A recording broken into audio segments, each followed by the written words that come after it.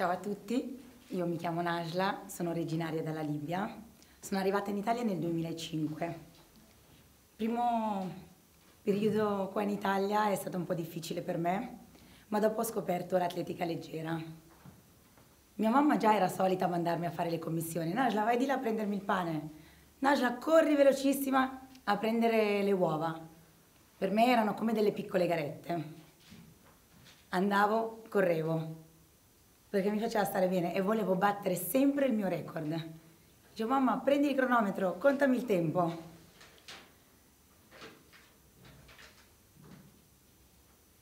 Ovviamente andavo sempre di corsa. Il mio primo approccio con la corsa fu grazie alla scuola, ma soprattutto grazie alla corsa campestre, dove vinse il mio primo titolo italiano nel 2006. La corsa mi rendeva veramente felice mi legai così tanto alla corsa anche per il fatto che potevo stare fuori casa, potevo viaggiare, potevo prendere un treno. Per me era bellissimo, quindi così mi avvicinai tantissimo alla corsa. E poi le ore di educazione fisica. Le ore di educazione fisica furono il mio primo, il primo mezzo di comunicazione con i miei compagni. Immaginatevi che discorsi. L'ora di educazione fisica era la mia ora preferita perché era l'unico modo per comunicare, quindi lo sport mi ha aiutato a iniziare a parlare l'italiano perché quando sono arrivata qua non sapevo neanche una parola tranne l'ora di educazione fisica che mi rendeva felice perché riuscivo a scambiarmi due sorrisi o due chiacchiere con i miei compagni. Dopo diversi problemi familiari, diciamo sono rinata, sono decisamente rinata letteralmente rinata. Il matrimonio, il matrimonio imposto, l'allontanamento di casa, il ritorno in Italia, il coma. Sì, il coma. E poi la rinascita.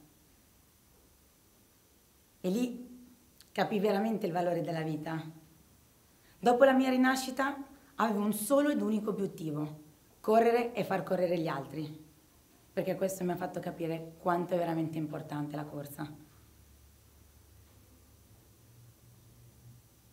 La corsa mi aveva veramente salvata.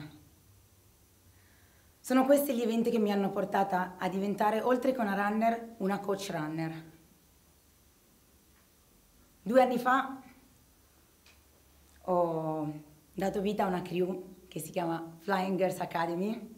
Sono delle ragazze diverse tra loro, tra loro ma accomunate da, un solo, da una sola cosa, che è la corsa. E ci troviamo quasi tutti i giorni a correre nelle strade di Milano. Ciò che cerco di trasmettere attraverso la corsa, non so come spiegarvelo, cioè tutte le persone sanno correre, tutti sanno farlo e immaginatevi quanto è difficile per me insegnare la corsa, infatti non è quello che voglio fare. Il mio obiettivo non è quello di insegnare alle persone a correre, perché lo sanno fare tutti, ma insegnare quello che si può superare attraverso la corsa, quello che a me ha aiutato ad affrontare così grandi problemi attraverso la corsa. Come vi ho detto, grazie alla corsa io sono rinata.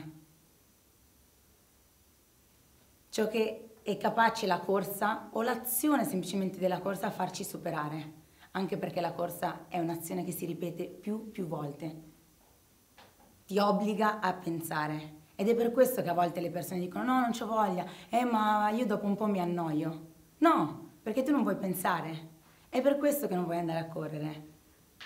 Invece la corsa ci obbliga a pensare, ci obbliga ad affrontare i nostri problemi e ciò che non vogliamo mai fare perché per me la corsa è una terapia, è qualcosa che ci fa star bene, quindi perché non farla?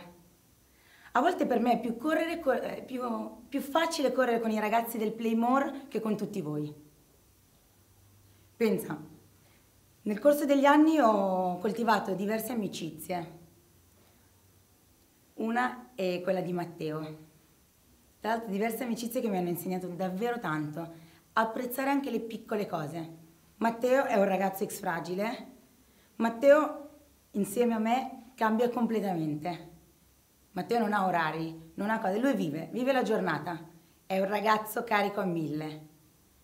lui si carica e va, vive tutta la giornata carichissimo, non si ferma mai. Matteo aspetta, fermati attimo. No, lui vive così, è una potenza.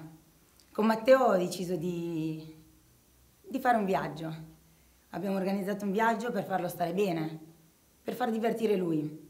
Invece mi sbagliavo, perché alla fine di quel viaggio sono tornata stando bene io e Matteo che aveva aiutato me.